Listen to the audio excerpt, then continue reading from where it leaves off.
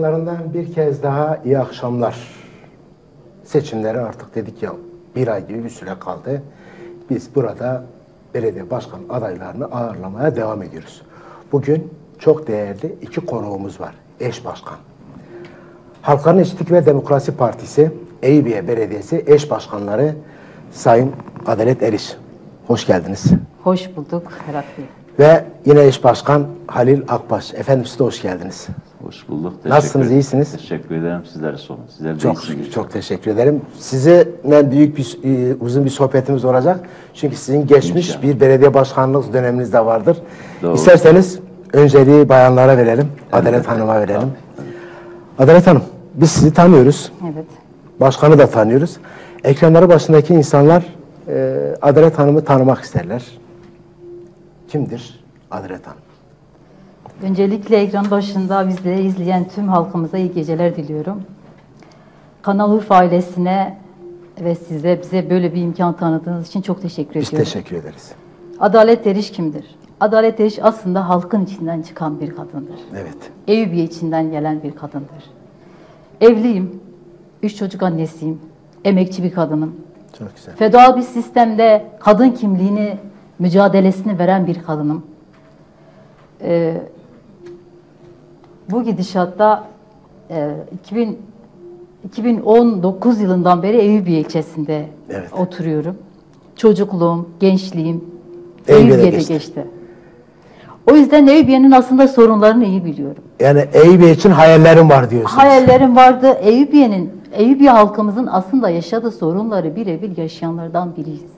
Hani burada biz dili e, süslü olan siyasetçilerden değil, halkın içinden çıkan insanlarız. Kendi sorunlarını kendisi bilen insanlarız. Evet. Ve bu e, doğrultuda kendi e, şunu söylemek istiyorum. Kendi sorunlarımızdan diyoruz ya bizim bir sloganımız var. Kentimizi kendimiz yöneteceğiz. Çok güzel. Ee, aktarabileceğim şu an bu Şimdi kadar. tabii ki şöyle bir şey. Heyecanlıyım onu da söylemek o sıkıntı istiyorum. değil, hiç sıkıntı Biraz yok. Biz buna heyecanlıyım, muhabbet- o heyecanın üstünden Muhabbet, biz muhabbet ediyoruz. Yani tabii ki herkesin e, kafasında bir şeyler mutlaka vardır. E, ben şöyle sormak istiyorum. Yani neden işte DEM Partisi, neden belediye başkanlığı, neden Eyüpiye? Sorsam Adalet Hanım ne söyleyecek bize? Şunu söyleyebilirim. Neden DEM Partisi aslında? Ee, yaşamın her alanında aslında e, birçok kadın. Yani dünyanın yarısı kadın. Evet. Değil mi? Şunu kadın hangi e, alanda aslında kadın hiçbir yerde kadın rengini e, göremiyoruz. Evet.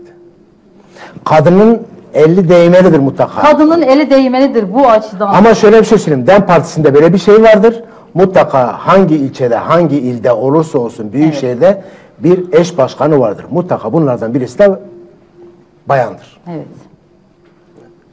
Peki, biz sizinle daha muhabbet- muhabbetimiz olacak. Ee, şimdi bir de başkana dönelim.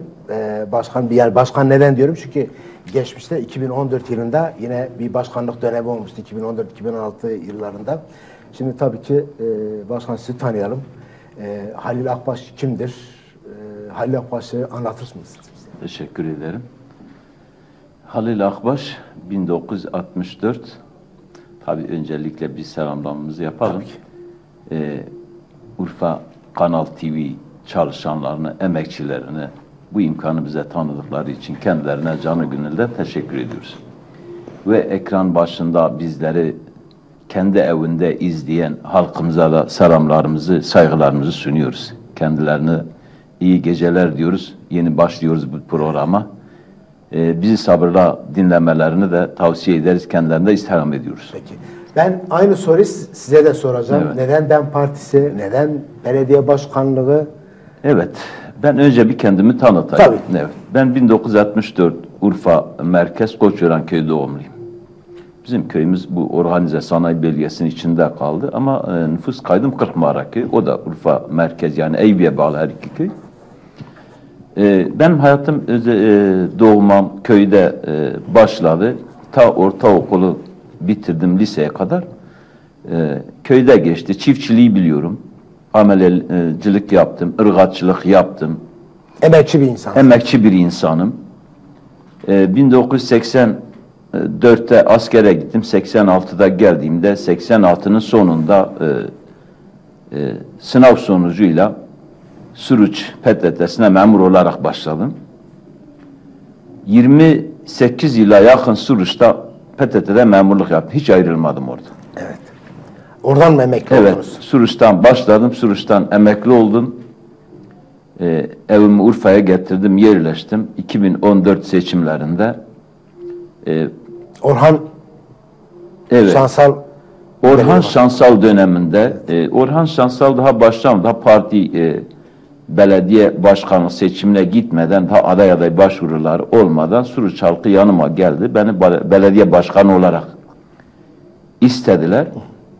Hazır olmadığımı söyledim. Sonra orada e, olmazsa birinci sırada meclis üyesi olarak girdim. 2016'nın sonunda Orhan Şansal'ın e, devletin kendisine hazırladığı bir dosya sonucu yakalaması çıkarınca meclis üyeleri tarafından belediye, Belediye başkan vekili seçildi. seçildim. Evet. 2017'nin 8. ayında da yerime kayyum atandı. 3 ay sonra da cezaevine gönderildim. 29 gün e, Cezaevinde. yok 29 gün gözaltında kaldım spor salonunda Haliliye'de. 2016 2017'nin 8. e, 11. ayda bizi gözaltında. 15 Temmuz gecesinden Evet, sonra tabii, sonra e, o tabii ondan sonra e, 8 ay cezaevinde kaldıktan sonra e, ondan sonra tahliye oldum. Berat E, Yani e, aslında e, üyelikten aldılar, beraat ettim fakat e, kendilerinin hazırlamış olduğu bir e, e, dört tane paylaşımla, bir komployla, bir kumpasla e, bana bir yıl, altı ay, 22 gün ceza verdiler. evet. Peki kayyumlardan bahsettiniz. Biraz isterseniz kayyumları konuşmak ister misiniz? Evet tabii ki. Kayyum belediyeler var. Yani kayyum belediyeciliği. biliyorsunuz mutlaka belediye başkanı seçildikten sonra belli bir süre sonra işte sizi farklı konularda işte kayyum atanıyor. Ee, oralar kayyumla yönetiyor. Yine yine böyle bir şey olabilir mi? Böyle bir kayyum bekliyor musunuz? Ee, şimdi diyelim ki Eyüp'den belediye eş başkanı seçildiniz. ikiniz seçildiniz. Ne kadar süre belediye başkanlığı yapacaksınız? Yaptırılacak mı? Yaptırılmayacak mı? Kayyum atanacak mı? Biraz kayyumları anlatsanız. Evet şimdi aslında e, demokrasinin olmadığı ülkelerde tek adam rejiminin hakim olduğu bir ülkede yaşıyoruz. HDP belediyelerine kayyum atadığı gibi diğer belediyelere de atabilir. Buna hazırlıklı olmak lazım. Ama bu şu anlamda buradan çıkmıyor. Her zaman kayyum atanacak. Hayır. Biz ataca- atanacağını düşünmüyoruz açıkçası. Evet. Çünkü Bu dönemin farklı olacağını. Kesinlikle yani artık e, sene 2024 24. yani 20 e, 2200'lü Birinci yüzyılı yaşıyoruz. bitirdik Evet, evet. ikinci yüzyıldayız. Şimdi e, böyle giderse zaten Türkiye tıkanmış siyaset noktasında e, demokrasi rafa kaldırılmış. Hem dünyada hem Türkiye'de gerçekten iç barış diye bir şey kalmamış. Ee, şu anda e, Üçüncü Dünya Savaşı dediğimiz bir savaşla karşı karşıyayız. Bizim Türkiye'nin yani bu komşu ülkelerle ya da dünya ülkeleriyle siyasetini gözden geçirmesini bekliyoruz ki olmak zorundadır. Çünkü Türkiye sistemi siyaseti gerçekten hem içte hem dışta tıkanmıştır. Evet. Şimdi tabii ki Eyüpiye dediğimiz zaman Eyüpiye gerçekten bir dezavantajlı bir ilçemizdir. Evet. İsterseniz Adalet Hanım'la devam edelim. Size de soruyu tekrar döneriz. Ee, Eyüpiye dedik ya neden Eyüpiye değilse Eyüpiye'yi anlatınız. Ee, şimdi tabii ki Eyüpiye'de bir kadın eli değmeli diyorsunuz Eyüpiye'de. Kadınların sorunları vardır. Kadınların sorunları nasıl ele alacaksınız orada? Öncelikle şunu söylemek istiyorum. Belediyeciliğimiz anlayışımızda eş başkanlık ve eşit temsiliyeti e, savunuyoruz. Kadın bütçesini, kadın kartlarıyla indirimler, ücretsiz ulaşım, kadın istihdamı geliştirme merkezleri kuracağız. Kadın mec- meclisleri, kadın erkek eşitlik komisyonları, şiddete karşı adım istasyonları kuracağız. Peki başkan siz e, bu konuda neler söyleyeceksiniz?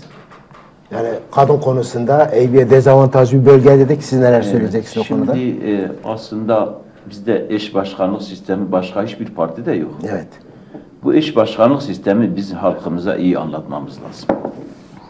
Eğer bu coğrafyada ya da dünya genelinde kadın erkek bir arada yaşıyorsa, kadın olmasa erkeğin de olmayacağı, erkeğin olmadan kadının da olmayacağı, bu hayatta birlikte yaşadığımızı, bu e, topraklarda birlikte yaşa, bu havayı birlikte soluduğumuzdan dolayı yani insan olmamızdan dolayı e, toplumun genelinde kadının eşit temsiliyette veya eşit bir özgür yaşamla kadının da kendisinin bir insan olduğu, erkeğin de bir insan olduğu eşit şartlarda yaşaması gerektiğini düşünüyoruz. Aynı zamanda aslında şu anda e, gerçekten kadının üzerinde hem devletin politikaları haline gelmiş bir şiddet, bir katliam vardır. E, bir e, halkın içinde de kadına yaklaşımı biraz daha farklı oluyor. Bunun için gerçekten toplumun toplumun bir eğitimden geçmesi gerekiyor. En azından kadın şiddetini durdurmak, aile mefhumunu korumak, çocukların ve bütün halkın özellikle çocukların psikolojik sorunlarını da göz önüne alınarak bu aile içindeki şiddetin durdurulması toplumun birlikte bir arada kadın ve erkeğin özgür, eşit bir şekilde yaşamasını temin etmesi için toplumun gerçekten e, bir eğitime ihtiyacı vardır. Bunun için biz de diyoruz ki DEM Parti olarak, belediyeler olarak e, bu kadın yaşam evleri, e, kreşler, ana dilde e, eğitim hem kadınlar için hem çocuklar için e, önemlidir. E, bunları e, yapmayı düşünüyoruz. Kadının kendi kendisini korunması için ve de, e, belediyelerinde güvenli alanlar yaratması, özellikle e, bu mahallelerde, bu kentleşmede kadının kendisini güvende hissedeceği, rahat yürüyebileceği alanların, şartların oluşması gerekiyor diyor. Biz bu, yaklaşımımız bu noktada olacak. Kadınlar için gerçekten Şimdi güvenli kadın, yerler. kadın dediğimiz zaman tabii ki ben hemen Adalet Hanım'a dönüyorum. Ee, başkan kadınları çok güzel anlattı. Evet. Sizin de mutlaka kadınlar için kafanızdan geçenler vardır. Neler söylemek istersiniz sizlerden? Ben de şunu söylemek istiyorum. Tabii ki kadınlarla ilgili çok pro- projelerimiz var. Öncelikle şunu e, dile getirmek istiyorum. İlçemiz mevsimlik tarım işçiliğinin şimdi tarım işçileri konusuna geleceğiz. Evet. Çünkü e, gerçekten kadınlarımız, çocuklarımız her yıl işte e, şimdi Nisan ayı başladığı gibi artık göç başlayacaktır. Ta ki işte Eylül, Kasım'a kadar e, kadınlarımız e, tarım işçisi olarak çalışacaktır. Mutlaka sizin de kendinize göre bir hazırlık yaptığınız vardır. E, yani kadınlar dediğimiz zaman mevsimlik işçilerle ilgili neler söyleyeceksiniz? Çünkü her yıl her yıl binlerce insanı bu yollarda kaybediyoruz. Var mı diyeceğiniz bu konuda sizin de? Başkan bu konuda siz de Adalet Hanım'a destek olabilirsiniz. Yani e, gerçekten e, bu iç göç kadınlar için çekilmez bir durum. Çünkü özellikle kadının kendi yanında çocukları taşıması, çocukları korumaya alması, aileyi korumaya alması erkekten daha fazla hani e, bir analitik zeka var, bir de duygusal zeka var. Kadınların duy- duygusal zekası daha ileridedir. Onların yaklaşımları duygusal oluyor biliyor musun? O duygusallıkla onların üzerine gelen o Şimdi yük tabii ki başkanın üzerindeki yük büyüktür. Evet. Ben anlıyorum. Başkanın da ilk canlı yayınıdır. Evet, Ee, o rahat olun. Evet, Yani biz de aynı şeylerden geçin. Ben mesela ilk kameranın kamera arkasında olmak ayrıdır. Evet. Kameranın önünde olmak ayrıdır. Yani burası bir sohbet ortamı gibi. Orayı öyle bir düşünün. Hiç kameralar görmeyin. Ee, mutlaka kafanızdan yana kadınlar için. Ya biz kadın dediğimiz zaman aklınızdan ne geçiyorsun? Bize kadını anlatsanız bize yeterli yine. Şimdi kadının e, her alanda aslında kadının söz sahibi olmasını, Doğrudur. bunun mücadelesini veren de partimiz içerisinde zaten bunun mücadelesini veriyoruz. E, Ondan Bir anne olarak, bir anne olarak yani e, kadını bize anlatsanız e, ki çünkü sizin Eyüpiye'de seçmenin e, büyük bir bölümü kadınlar oluşturuyor. E, tabii ki erkekler de var o konuda. Ama e, kadınlar için mutlaka söyleyeceğiniz bir şeyler vardır. İsterseniz e, şey yapıyorsanız başkanla devam edelim. Sıkıntı yok. Başkanla devam edelim. Başkanım siz neler söyleyecek? Biraz Evet. Adalet Hanım biraz heyecan var Evet, üzerinde. E, olabilir, o normaldir. E, Teşekkür ederim. E, Gerçekten yani e, önce sistemin kadına yaklaşımını Siz çözmemiz başkana lazım. düşünün, başkana eşlik edebilirsiniz Evet. konuşmasında. Yani e, toplumun ve sistemin kadına yaklaşımını önce Evet. e, e, sorgulamamız lazım.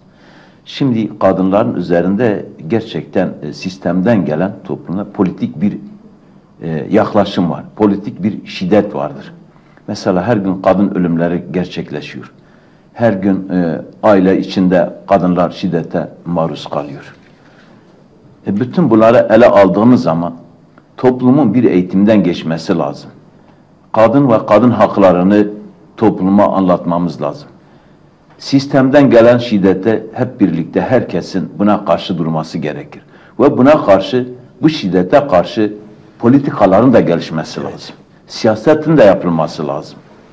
Toplum kendisini nasıl kabul ediyorsa öyle görmeli. Yani kadının da hayatın bir parçası olduğunu, erkeğin de bu hayatın bir parçası olduğunu, birlikte yol yürümekte, birlikte çalışmakta, birlikte okumakta bir fayda olduğunu, hatta mesela e, genellikle belediyelerin görevi sosyal donatı alanlarında, mesela parklarda toplumu ayrıştırmayacak, toplumu bir arada tutacak, kadını, genci, yaşlısı, çocuklara hizmet verecek açık ve kapalı park alanları, sosyal donatı alanlarının da yaratılması lazım. Bu da sosyal belediyecilik, halkçı belediyeciliğin olmazsa olmaz şartlarındadır. Ha bugün burada Urfa'da biz bunu görmüyoruz. Gerçekten çok büyük eksi- eksilik. Urfa'nın genelinde yok. Değil ki Eyüpiye'de rastlanmamışız. Yani bu kadın katliamlarına bugün diğer partilerden gerçekten hiç ses çıkaran olmuyor yani. Ha, Bugün hatta kadın cinayetleriyle ilgili gerçekten gündemde olan bir konu vardı. Yani şimdi tabii onu takip Eşine etmek. yaşayan, eşinden ayrılan Evet aslında evet. insanımız Evet kadınlarımız- çok her gün. Ama her gün bu nereden kaynaklanıyor? Şimdi adam e, kadına şiddet uyguluyor. Öbür taraftan bir ceza almıyor. Yani bir cezai müeyyide yok. Varsa da hafif kalıyor. Ama bu nereden kaynak? Bir, bir kere e, e, evdeki o geçimsizlikten kaynaklıyor. Şimdi belediyede, sosyal belediyecilikten bahsediyoruz. Şimdi belediye aynı zamanda üretim alanıdır.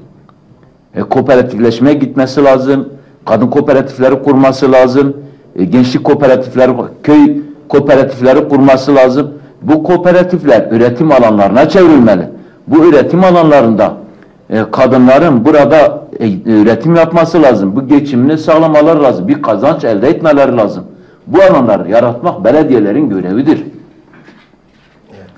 Onun için eğer e, evde geçim rahatlıkla olursa orada huzursuzluk olmaz. Ailenin kafasında ekonomik sorun Tabii olmasa... kesinlikle. Evet. Yani zaten esas e, kaynağını oradan alıyor. Niye? Sistem çünkü muhtaç et, biat etsin, sen de onu irade, e, idare et. Mantığıyla yaklaşıyor. Bütün topluma e, yaklaşıyor ama burada en fazla etkilenen kadın. Etki kadın üzerinde. Orada e, kadın şiddetten maruz kalıyor. Geçimsizlikten dolayı. E, adam e, belki... Peki bu konuda Adalet Hanım'a sorarım. Mutlaka ekonomik kaygınız oldu mu sizin de? Yani geçmiş dönemde evlenmeden önce işte ekonomik kaygınız oldu mu? Evlendikten sonra çoluk çocuk sahibi olduktan sonra ekonomik kaygısı duydunuz mu hiç sizde? Tabii ki duydum. Ekonomik kaygısı herkes gibi, her yurttaş gibi ben de duydum. Ee, bu konuda daha çok kadınların mağdur olduğunu düşünüyorum. Peki Her alanda. siz mutlaka seçim e, döneminde birlikte dolaşıyorsunuz. insanları dinliyorsunuz. E, kadınlara mutlaka dokunduğunuz zaman belki bir dokunuyorsunuz, bir ağaç işitiyorsunuz. Mesela kadınlar sizde neyi anlar? Hangi sorunları anlar? Bugün e, esnaf ziyaretinde bir tane yaşlı annemizin... Bence hiç notlarınıza bakmayın. Evet. Dolaşın, bir sohbet şey yapın. Es, esnaf ziyaretinde bir tane yaşlı teyzemizle Evet. sohbet etme alanımız oldu. İçim açıldı. Gerçekten teyze şöyle bir cümle kurdu. Ben dedi ev kiramı ödeyemiyorum. Ve ben e, bu yaşta da çalışamam. Bir kadın olarak şöyle dönüp baktığımda ekonominin faturası aslında en çok biz kadınlara yansıyor. Evet. Ve bu anlamda e, kadınlarımızın gerçekten artık bazı şeyler yani ezilen bütün kadınların bazı şeylere artık dur demesi lazım. Peki siz başkan olduktan sonra, şimdi tabii ki her belediyenin, her partinin kendine göre e, insanlara, ailelere yaklaşımı vardır. İşte Evet. kimi belediyecilikte işte alışılagelmişin üstünde işte kolyeler götürürler, verirler. Bugün karnını doyur, yarın ne olacağı belli. Siz nasıl bir o insanların e, sorunlarına nasıl dokunacaksınız? Kadınlarla nasıl yaşayacaksınız? Onlara Ben, e, neler sunacaksınız? Tamamen şunu e, bir kere şunu biz asla yapmayacağız. Kadınları PTT önünde bin lira için kuyruğa, kuyruğa e, dizen o zihniyete karşı çıkacağız. Ya bir kadın olarak o kadınları Yani onlara balık yemeği değil, balık tutmayı öğretin. aynen öyle balık tutmayı biz iş imkanları sağlayacağız kadınlarımıza. Yani bugün baktığımızda bin lira için açıkçası PTT önünde yardım adı altında belediyeciliğin yardım, e, yardım adı altında bu kadınları PTT önüne dizen o zihniyetle mücadele edeceğiz. İş imkanı yaratacağız kadınlarımıza. Ee, Birçok projemiz var tabii ki. Ben e, Yoksa aklınızdan geçen şunu heyecanımla gerçekten maruz görün. Evet biraz. Estağfurullah, İlk, olabilir. ilk defa canlı yayına Canlı yayın çıkıyorum. Çok projemiz var. Tabii ben bu e, kadın mücadelesini, kadının her alanda olmasının gerektiğine inanan bir kadın olarak belediye kazanırsak e, belediyenin birçok çalışanı kadınlardan oluşturacağız. Evet. İş imkanları yaratacağız kadınlarımıza. Hani o daha çok yardıma muhtaç edilen kadınlar değil, Evet. e, kendi ayakları üzerinde, üzerinde duran kendi ayaklarının üzerinde durabilecek iş imkanları yatır- e, yaratacağız kadınlarımıza. Ki Bey biraz bu konuda dezavantajlı bir Aynen bölgedir. öyle. Bunu bu dezavantajı diyorsunuz inşallah biz avantaja çevireceğiz kadınlar için. İddialıyız Evet. E, ve inanıyoruz ki gerçekten kazanmaması için hiçbir neden yok. Peki başkan ben e, biraz da imardan e, şey yapalım. İşte Evet. belediyelerin işte bulunduğumuz ilçenin altyapısından, üst yapısından e, bahsedecek olursak, imar konusuna başlarsak neler söyleyecek? Siz deneyimli bir belediye başkanı olarak da. Yani gerçekten ben e, bile e, programa çıkacağımdan dolayı bile bir e, fizibilite çalışması gibi bir şey yani bir gezdim. En başta bir çarpık kentleşme var. E, matruk binalar var. E, belediyenin bozduğu, yol açtığı o hala enkaz halindeki enkazlar ve yarım yıkılmış binalar da mevcut. Şimdi altyapı sorunu gerçekten e, Urfa'da e, işler acısı. Mesela birkaç damla yağmur yağdı. Gördünüz yani her tarafı sel aldı. Geçen sene insanlar. bir sel felaketi Tamam. Yaşadık. ben e, başkanım bu noktada bir şey aktarmak tabii. istiyorum. E, geçen sel döneminde aslında ben 17 Mart'ta on- ailemiz- 17 Mart'ta ben e, iş yerinde bir arkadaşımı kaybettim annesiyle. E, daha gencecikti. Selde e, boğularak maalesef feci bir şekilde can verdi. Ha, bunu kader diye dayattılar. Birebir biz ailenin yanına gittiğimizde aile şöyle bir cümle kurdu bize. E, aile Helvan'dan gelirken maalesef burada hiçbir yetkili aile e, aileye ulaşamadı. Hiçbir yetkili müdahale etmedi. Hani merhum birebir can verirken telefonlaşıyor ama hiçbir yetkili orada değil. Müdahale etmiyor. Ve o canlarımıza şöyle bir belediye başkanı şöyle bir cümle kurmuş. İçime uhte oldu aslında. Burada o aileye söz veriyorum. Sözümüz olsun bütün halkımıza eğer seçilirsek Eyüpiye'nin alt sorun, altyapı sorunları ilk ilk işimiz bu olacaktır. Altyapı sorununu çözeceğiz. İşte bu. Şunu e, belirteyim. Aile şöyle bir cümle, evet belki dilimiz süsü değil, insanları kandır, kandırmak üzerinde ama yapacağız bunları. Aile şöyle bir cümle kurulmuş işte, e, telafi ederiz. Bizzat belediye başkanı şöyle bir cümle kurmuş. Canın telafisi olmaz bir kere. Giden can geri gelmez. Giden can geri gelmez. Giden malı getirebilir. Hani şöyle bir e, şu noktada e, görevini yapmayan belediye başkanından şunu beklerdim. Halkından özür dileyip o anda istifa edebilirdi. Hiçbir can yani e, hiçbir, can hiçbir canın telafisi olmaz. Aile bu konuda gerçekten çok baya bir e, şeydi. Ben buradan o aileye söz veriyorum Naile Polat ailesine. Eğer biz seçilirsek burada sözümüz olsun halkımıza ilk önce altyapı sorununu çözeceğiz. Evet. Peki. Başkanım siz ne Evet aslında tabii e, bütün bu söylediklerimiz e, imar e, konusuna giriyor. E, bir kere imar konusu hem yeniden bir imar planı hem de revizyon imar planı gereklidir bazı yerlerde. Bir de orada kentsel bir dönüşüm Tabii olması ona geleceğim. gerekiyor. Şimdi şimdi kentsel dönüşüm var. Bir kentsel dönüşüm var. Bir bölgesel kentsel dönüşüm var. Bir de yerinden dönüşüm vardır.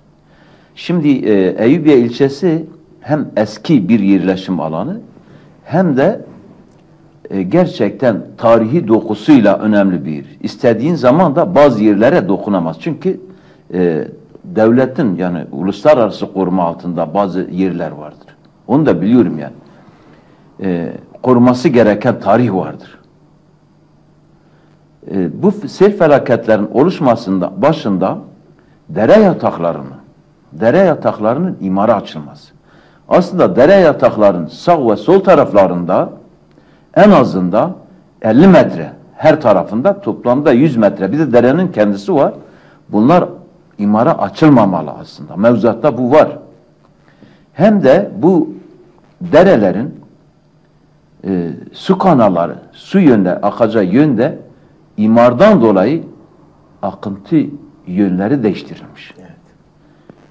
Bir de Yaklaşık 40 kilometre Şanlıurfa'nın içerisini çevreleyen derelerimiz var. Evet işte o derelerin e, sokaklara taşıması, e, evlerin su altında kalmasındaki sebep dere yataklarının imara açılmasıdır.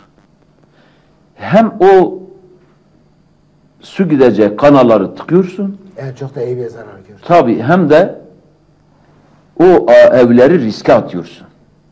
Çünkü suyun sürüklediği toprak o konutların altını boşaltıyor, konutlar çökebilir ve çöküyordu. Bu da can kaybına, mal kaybına sebep oluyor. Evet. İmar kanununda bir yerin imara açılması için belediyenin en azında yüzde 40 sosyal donatı alanı olarak oraları belediye hissesine düşüyor. Bir vatandaş ancak yani tabi belediyenin e, inisiyatifinde kalan bazı şeyler var ki biz bunu tavsiye etmiyoruz. Biz diyoruz en azından yüzde 40 kesinti. yap. Bu 30 da olabilir, 35 de olabilir. Biz bunu kabul etmiyoruz yani. Gerçekten cadde ve sokaklar dar, ulaşım sorun, e, toplumun rahat yaşayabileceği bir şekilde yapılmıyor. En azından imara açacağınız yerlerde en azından bir yüz yıllık bir asrı göze almak lazım. Yüz yıllık bir geleceği gözetleyerek o alanları imara açmak lazım. Hem de altyapı sorunlarında çok eski olduğundan dolayı yetersiz kalıyor. Ve çoğu yerde yer yer çökmüş olduğundan dolayı tıkamalar yaşanıyor. Görüyoruz mesela bazen görüyoruz o e, logarlardan su fışkırıyor. Yani e, çok hafif bir lağım suyu çıkıyor oralarda. Bu hem hastalık yapıyor hem e, pis koku yayıyor yani insanları rahatsız ediyor. Peki başkan ben şöyle bir şey söyleyeyim. Evet. Tabii ki yani kimisi diyor ki işte seçimlerde projeler yarışacak. evet, evet. Kimisi diyor ki fikirler yarışacak. Evet. Siz yani nasıl yarışacaksınız? Yani projelerle mi yarışacaksınız? Çünkü bulunduğumuz bölge dediğimiz gibi yani dezavantajlı bir bölge. Yani yıllarca orası hizmetten nasip alamamıştır. Alamamış. Çünkü halen gece kondunun olduğu bir bölgedir. Ee, şöyle bir şey söyleyeyim. Ee, insanların yani bugün Karaköprü'ye baktığımız zaman e, insanların bütün iş yerlerine baksa Karakö şeydedir, Eyüpiye'dedir. Butik otel olarak Karaköprü kullanıyorlar. Orada kalıyorlar. Sabah geceyi orada geçiriyorlar, gündüzü Eyüpiye'de geçiriyorlar. Yani böyle bir bölgede belediye başkanlığı yapacaksınız. Ee, nasıl bir şey izleyeceksiniz? Yani projeler mi yapacaksınız? Kentsel dönüşümle ilgili bir şeyler yapacak mısınız? Ee, bunun için neler söyleyeceksiniz? Şimdi Hatta e, başkan da eğer e, Adalet Hanım da aklına gelirse katkıda bulundur o da bize katkıda şeyler. E, Bu soru için sunarlar. teşekkür Rica ederim. ederim. Özellikle gerçekten e, bizim DEM Parti'nin politikası belediyecilik anlayışı toplumsal ve halkçı belediyeciliktir. Biz belediye projelerimizi belediye projelerimizi halkımızla birlikte sivil toplum kuruluşları, kanaat önderleri, kent konseyi, kent meclisleriyle, danışma meclisleriyle birlikte toplanıp istişare ederek oradaki o durumu değerlendireceğiz. Projeler bilim insanlarıyla, mühendislerle bu projeler tartışılır, bir havuza atılır. Havuza atıldıktan sonra aciliyetine göre, durumuna göre o projeler uygulamaya başlanır. Yani yalnız başımıza biz bir projeyi üretmiyoruz. Toplumla, halkımızla birlikte, kanaat önderleriyle birlikte, meclislerimizle birlikte. Hatta şöyle bir şey, e, yani bir e, köyü, bir mahalleyi e, bir projelendireceğimiz zaman o mahalledeki ya da o köydeki en azından beşte bir beşte bir halkının beşte biri bu ne kadar sayıya tekabül ederse etsin onların bize getireceği önerileri de göz önüne alınarak halkın önergelerini de kabul edeceğiz. Yani biz halkla birlikte projeler üreteceğiz. Bu hizmeti halkımızla götürüp halkla birlikte halkın onayı alınarak hiç kimsenin müzdarip olmadı kabul etmeyeceği projeleri yapmayacak. Yani e, müzdarip olmayacak halkımız Evet. ama bunu kabul görecek bir şekilde yapacak. Kabul görmeyen projeleri kesinlikle Evet. Biz de yapmayacağız. Geleceğe yönelik afetlere karşı bazı toplumsal olaylar mesela bir deprem felaketi yaşandı. Hiçbir yerde toplama alanı yok. Değil mi? Yok. E, Eyüpiye'de özellikle evet Eyüpiye daha hala eski bitişik nizamla yönetiliyor. Evet şimdi e, e, kısmen e, ayrış, e, ayrık nizama geçmiş. Ama yetersiz. Ama yetersiz. Yani bir de e, çökebilecek birinci derecede sulanabilir tarım arazileri, e, tarım alverişli ara, araziler imara Urfa'nın en büyük nüfusuna sahip Tabii. ilçelerinden birisi. Tabii. Şimdi başkanım bir de ben şöyle bir şey soracağım. Evet. Şimdi son günlerde eee partilerin genel başkanlığına baktıklarımız zaman şöyle bir söz var. Dem, demlenecek. Biz de diyoruz ki dem, demlenecek. Size neyi anlatıyor? Doğru. Gerçekten e, çünkü DEM değişimin partisidir. Evet. Özgürlüklerin partisidir. Halkın partisidir. Eşitlik isteyen parti, barış isteyen partidir. Onun için biz diyoruz ki biz DEM'le değiştireceğiz. Bu olumsuzlukları, bu tekçi sistemi, bu zihniyeti herkesin kendi ana dilini konuşabildiği, kendi inancını yaşayabildiği, toplumun ayrışmadığı, birlikte yaşamayı esas aldığı bir halkın birlikte hareket ettiği alanları halkımıza açacağız. Bir barışık bir şekilde e, hiçbir kimsenin kimseyi ayrıştırmadı, ötekileştirmediği, birlikte kardeşçe omuz omuza yaşayabileceğimiz alanları yaratacağımızdan dolayı Evet. DEM Parti buradan geliyor. Peki başkan Eyüp'e demlenecek mi? Eyüpiye demlenecek ve gerçekten e, halkın umududur aslında DEM Parti. E, sloganımız her zaman söylüyoruz. E, şöyle bir sloganla biz yola çıktık. Kentimizi kendimiz yürüt, e, yöneteceğiz, demle yöneteceğiz. Evet. Peki e, aslında sorum ikiniz için de geçerlidir. Dem dediğimiz zaman yani e, Halkların Eşitlik ve Demokrasi Partisi dediğimiz zaman e, sadece Kürtlerin partisi midir? Çünkü sizin bulunduğunuz bölgenin nüfusunun da Arapların olduğunu iyi biliyoruz. E, sadece Dem Partisi Kürtlere mi hitap ediyor yoksa Araplara da mı hitap ediyor? Türklere de mi hitap ediyor? Tüm halka hitap ediyor aslında. DEM Parti sadece Kürtlerin partisi değil. Evet. Bütün halkların partisi. Ee, bu bu konuda şunu söyleyebilirim. Sadece Kürtleri temsil ediyor diye bir şey değil. Ki Eyüp'ün büyük nüfusun büyüğünü Arapları Tabii ki şey öyle. yapıyor. Biz zaten o zihniyete Siz hepsinin oylarına talipsiniz. Biz o, o zihniyete zaten karşı, karşıyız. Ha- ha- bütün halkımıza yani Arabıyla, Kürdüyle, Türküyle Türküyle. değil biz bu halka hizmet etmek için geliyoruz. Ayrım yapmadan kadınıyla, yaşlısıyla, çoluğuyla, çocuğuyla hizmet etmek için geliyoruz. Asla öyle bir bakış açısıyla e, DEM Parti zaten sadece Kürtlerin partisi diye bir şey yoktur. Evet. Bütün halkımıza hizmet etmek için geliyoruz. Halkların Partisi. Halkların Başkanım Partisi. siz, de, siz neler söylüyorsunuz? Bu arada ben şöyle bir şey söyleyeyim. Şimdi tabii programa başlarken hep şunu düşünüyor. Adalet Hanım dedi ki bu program nasıl biter mi bitmez mi Evet, diye. çok hakikaten şöyle bir şey söyleyeyim. Yani biz yaklaşık bir 35 dakikayı geride bıraktık. Bir 10 dakikamız kaldı. Başkana sözü bırakıyorum. tolerans tanır. Tanırım tabii ki buyurun size. Çok teşekkür ederiz. Yani aslında e, DEM Parti'yi biz bir bütünen ele alıyoruz. Sadece Urfa üzgününde veya Eyüp üzgününde değil. Bizim partimizin bir politikası var. Demokratik ulus, demokratik cumhuriyet dediğimiz bir felsefemiz var. Nedir bu? İşte demin de söyledim.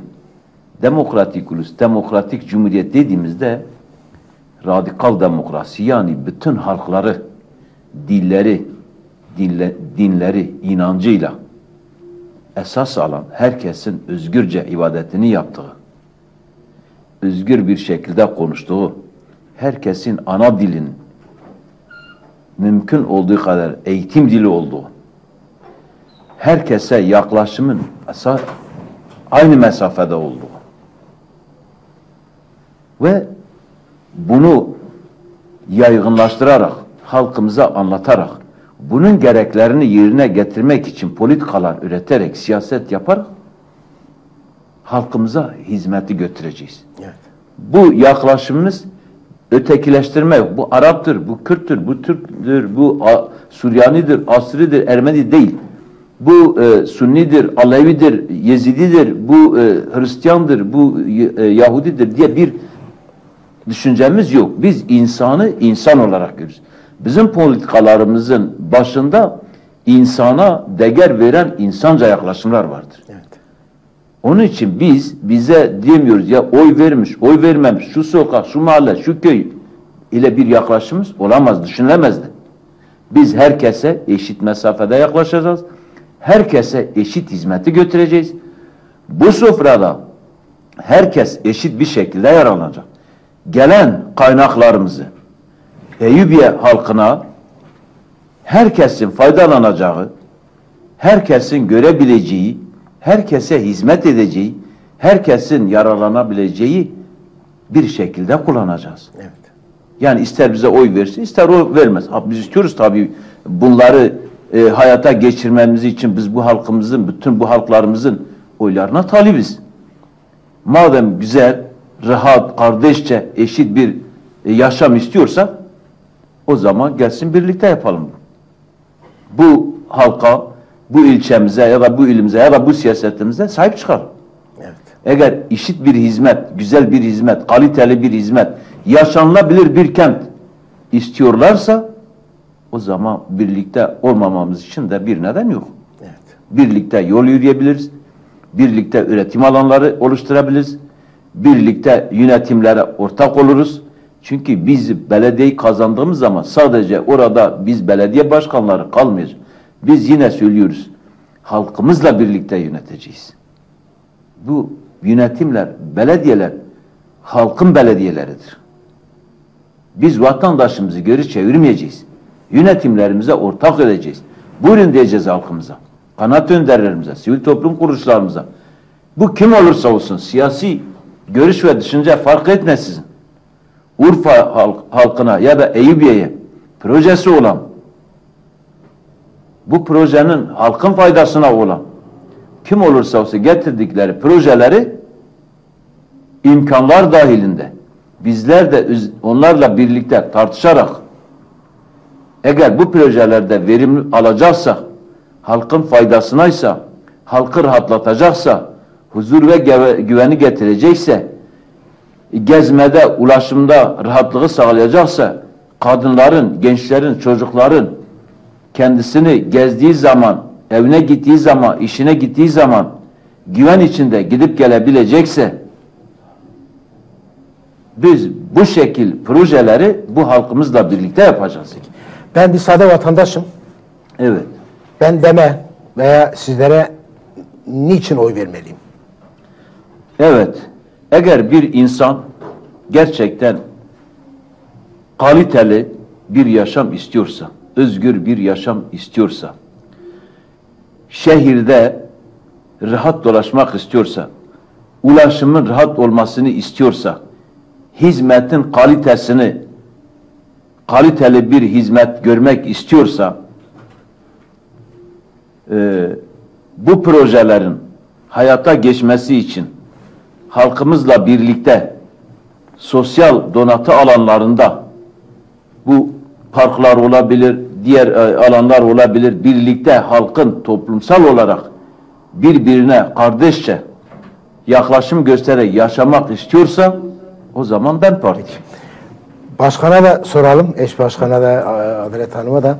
Ben sağda bir vatandaşım, sandığa gittim 31 Mart'ta. Ben neden DEM Partisi'ne oy vermeli, vermeliyim, neden Eyüp'ye'nin, Eyüp'ye'de yaşıyorumsa neden Eyüp'ye'nin eş başkanlarına oy vermeliyim diye siz birkaç kelimeyle neyi söylersiniz? Ee, şunu söylemek istiyorum. Biz dediğim gibi Eyüpiye'nin sorunlarını en iyi bilen insanlarız.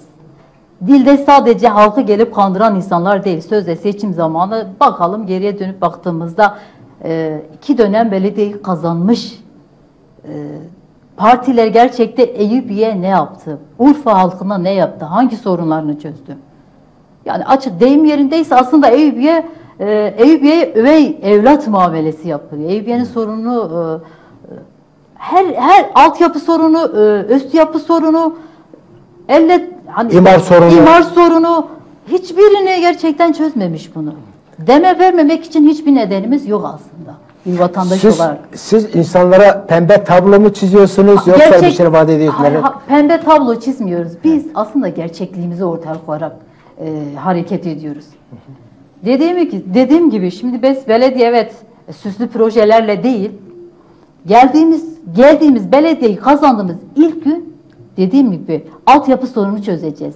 Öz yapı sorunlarını çözeceğiz. Halkımızla beraber, kadınlarımızla beraber, gençlerimizle beraber, çocuklarla beraber. Peki Adalet Hanım sabahleyin bugün mesela dedi işte bu programdan sonra gittikten sonra tabii ki ev ziyaretleri belki o saat geç saat olduğu için bitiyor ama Adalet Hanım sabahleyin kalktığı zaman seçim çalışmalarına nereden başlıyor, ne yapıyor biraz ondan bahsettiniz. E, tabii ki Sabah ilk işiniz ne Sabah yapıyorsunuz? ilk işimiz esnaflarımızı ziyareti. Halkımıza birebir her her yurttaşımıza dokunmak istiyoruz. Sorunlarını dinlemek istiyoruz. Gerçi dokunduğumuz her vatandaşımız, Peki yurttaşımız dokunduğunuzda ne söylüyor insanlar size? çok umutlular aslında. Umudunu demde arıyorlar. Umudun gerçekten demde bulduklarını söylüyorlar. Ee, çok güzel yaklaşımlar, çok güzel e, pozitif bir enerji alıyoruz halkımızdan. Halkımız gerçekten çok olumlu bakıyor. Yani, e, Urfa'da e, Urfa'nın iki, ikinci partisiyiz yani. Urfa'da öyle şey Tabii kabul etmek değil. gerekirse tabii Evet. ikinci. Onun için biz umutluyuz. Gerçekten de kazanacağımıza da inanıyoruz. Ve halkımıza hizmet etmek için geleceğiz. Evet. Yani yine başta belirttiğim gibi biz dilde sadece sorunları dile getiren bir yönetimle değil, kendi sorunlarımızı bilen insanlar olarak bunlara çözüme, gönül olarak hizmet etmeye geliyoruz. Onun için e, özellikle kadınlara seslenmek istiyorum yaşamın her alanda her e, şeyi kadınlar yaparken kadınlar hiçbir alanda görmüyoruz. Ve partimiz bugün e, eş başkanlık sistemini kurduysa aslında tam da bu noktada kadınların e, DEM Parti'de olmasını, e, DEM Parti'ye sahiplenmesi gerektiğini buradan kadınlara çağrımızdır. Yani diğer partilere baktığımızda kadın temsiliyetini göremiyoruz başkan. Doğru mudur? Doğru tabii kesin. Bırak kadın temsiliyetini, yani bir tane kadın aday yok. O da e, kadının sorunu dile getirebilecek bir tane Şimdi tabii ki programın sonuna geldik. Adalet Hanım biraz açıldı. Açtım evet. Sonra. şimdi artık yavaş yavaş toparlayalım biz de. Ee, çünkü bizim de e, bir yayın akışımız vardır. E, son sözlerinizi alalım başkanım. Siz neler söyleyeceksiniz? Ondan sonra Adalet Hanım'a bırakalım sözü ve programı kapatalım. Yani burada bir e, şeylerle değinelim. Onu da geçelim. E, duyum olarak biz aldık. E, DEM Parti eğer Eyüpiye Belediyesi'ni alırsa e, aldığım duyuma göre işçileri işten çıkaracak diye bir şey. Aslında biz emekten gelen, emeği esas alan, işçilikten gelen, emelelikten gelen, çiftçilikten gelen insanlarız. Evet. Benim hayatım sendikacılıkla geçti. Bütün çalışanlar, emekçilerin, işçilerin, memurların hakkını arayarak buraya kadar geldim. Çalışan kim olursa olsun başımızın tacı. Hiçbir işçinin, memurun ekmeğiyle, yeriyle oynamaya bizim niyetimiz yok. Onlar bizim kardeşlerimiz, çalışanlarımız. Onlara, biz çalışanlara, işçilere, memurlara, emekçilere değer veren insanlar. Ve bu değer için de mücadele veren insanlarız. Hiç kimsenin korkusu olmasın. Seçmenine me- mesaj vereceksiniz. Yavaş yavaş kapatalım programı. Şimdi biz seçmenimize şunu söylüyoruz. Gerçekten bir bu sefer en azından belki sistem bizi onlara yanlış gösteriyor. Ama gerçekten pratikte bizi görmek istiyorlarsa en azından bu dönem onların oylarına talibiz. Birlikte yönetmeye varız diyoruz. Onları da yanımızda görmek istiyoruz. Birlikte bu şehri güzelleştirmeye, huzur kenti yapmaya, bu e, uyuşturucunun önüne geçmeye, gençleri, kadınları eğitime tabi tutmaya, birlikte yaşamaya varız diyoruz. Eğer varsa biz de onların oylarına tabi, talibiz. Birlikte yöneteceğiz inşallah. Çok teşekkür, ederiz. Biz teşekkür ederiz. Başka siz neler söyleyeceksiniz? Kadınlara, çocuklara, annelere, babalara neler söyleyeceksiniz ve programımızı kapatalım. Ee, bütün halkımıza şunu söylemek istiyorum. Artık herkes değişimin olmasına inanıyor. Evet. Değişimin olması için de elimizden artık geleni yapmak zorundayız. Hani bu noktada dem gelmiş diyoruz, değişim zamanı diyoruz.